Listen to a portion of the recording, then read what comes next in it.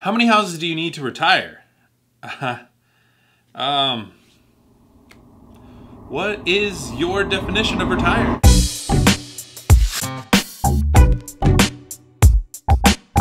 Welcome back, everybody. Such a pleasure to be back. It is the summer and it is hot and unfortunately humid. My name is Alex Beltran and I talk about real estate tricks, tips, and topics. So if you want the latest on everything real estate related, go ahead and subscribe to the channel twice by hitting that subscribe button, poking that little bell, because YouTube apparently really likes redundancy. So I got an email earlier this week saying, all right, without the sales pitch, how many houses do I need to retire? To which I responded with a very detailed email, basically trying to understand what they meant by retire. And I haven't heard back from them yet. Which happens more often than you think. In real estate, you constantly get approached by people that want all of your attention. And much like my dating life, ghost me. And don't feel bad for me. I made my bed, now I gotta lie in it. Besides, I've grown a tough skin from doing this for so many years. And as enticing as it may be to just give someone a numerical answer, the fact is, it's just not that simple. First, you gotta ask yourself these questions. What does retirement mean to you? Does it mean sitting on a boat sipping on margaritas on Lake Havasu? Or does retirement mean driving your new Rolls Royce down the Las Vegas Strip dressed up like a Panic at the Disco music video extra while throwing thousands of dollars down on the roulette table? Double zeros, double zeros, double zeros. There is no wrong answers here. Everybody has different goals in life and knowing what they are is a good first step. The next question is how much money do you need to achieve your goals? Let's break down that Lake Havasu lifestyle in a monthly dollar amount. 2,000 bucks a month month for a decent house. I mean, you can always call me and I can help you find that house. A thousand bucks for your automotive needs, you know, insurance, car payment, all that cool stuff. A thousand bucks just for fun money, you know, for dining out, going to the bars, going to a Panic at the Disco concert. Another thousand bucks for cost of living expenses, and an additional thousand bucks a month for a rainy day fund. And that comes out to a nice and tidy $6,000 a month for monthly retirement expenses. You see how easy retirement numbers are? Pfft, you thought this was complicated. okay, look, I know I oversimplified that, and I know that there's a lot more that goes into play when planning for retirement. But I want to simplify the process so that your brain processes the feasibility of the matter to help motivate you and take action. Lastly, when you want to retire is very important to know, but for the sake of this video, we'll stick to the goal of retiring when you own enough income properties to hit your monthly income target, be it at 38, 48, or 62, whenever you hit that goal. It's safe to assume that if you're in the camp of wanting passive income, then I can also assume that you're trying to mitigate risk as much as possible. So let's go with rental income properties as your retirement income as well. Let's go with $3,500 as your target passive income for retirement. I have a client that lives off of $3,500 a month with two income producing properties. He bought two fourplexes a couple years ago, and now those properties are worth a lot more because of the appreciating value as well as the equity that he has in them. But more importantly, now he makes more than that $3,500 a month because rent prices keep going up. Yay! And every time a tenant pays rent, his net worth also goes up. Double yay! Because they are paying off his loans. Now, I'm sure you must be asking yourself, how is this guy living off of $3,500 a month? Well, he decided to move to Bali, Indonesia, where $3,500 a month American allows him to live like a king.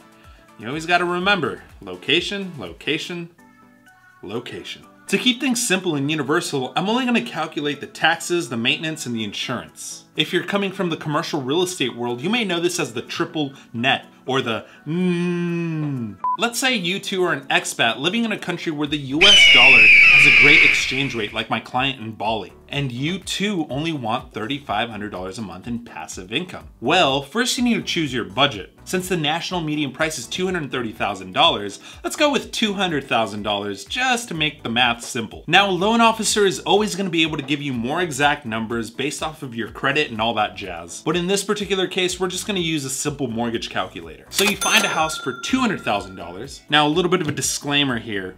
As of the time of this recording, interest rates are just bouncing around all over the place. The average right now is 3.8. On a conventional 30-year loan, you'll need that 20% down, which in this case is $40,000, meaning that you're financing $160,000, making your monthly mortgage payment $945 $2,145.53. In this particular case, there is no HOA fees, and usually when you pay your monthly mortgage, a small portion of that goes to paying for your property taxes as well as fees from the good old escrow company. And the way the property taxes are paid varies in every county. Like here in Omaha, you're basically paying for last year's property taxes. So take into account the tax payment structure. It's usually broken down in your amortization schedule. Since this is an income property that will be rented out to tenants, you want to make sure that you get the right insurance. It is not worth cutting corners in the insurance department because you're going to regret it when you actually need it. Once again, these prices vary from region to region and house to house, but let's just say it's $1,200 a year, making it $100 a month. And let's just say you set aside another $100 for maintenance and repairs, bringing you to a grand total of $1,145.53 and you found a great rental location where you can achieve that 1% rule. 1% of the purchase price of $200,000 is $2,000. 2,000 minus your expenses of $1,145.53 equals $845.47 as your net. If you replicate these exact same variables, it means that you're gonna need to buy four homes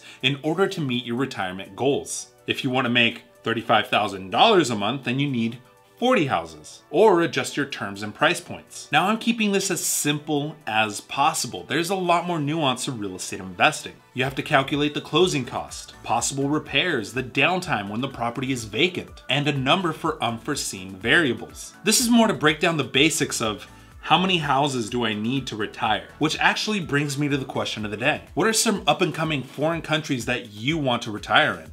Go ahead and drop your answers in the comment section down below. I'd love to hear your thoughts. Personally, I want to retire on Mars, but I'm weird, so don't copy me. If you found this video informative or entertaining, go ahead and hit that like button. It really helps out the channel. The better this channel does, the more I get to invest in Tesla. The more I invest in Tesla, the more money Elon Musk makes. The more money Elon Musk makes, the more he invests into SpaceX the better SpaceX does, the closer I get to retiring on Mars. Hashtag retire on Mars. I'm totally making this a thing. You can't stop me. Bro math. You know you liked it. If you haven't subscribed yet, please go on ahead and do so. If you want to keep up to date with everything that I'm doing in real estate, go on ahead and give me a follow on Instagram. If you want to watch some more of my real estate related content, I'm going to go on ahead and link it here and here other than that, see you on the next one. Peace.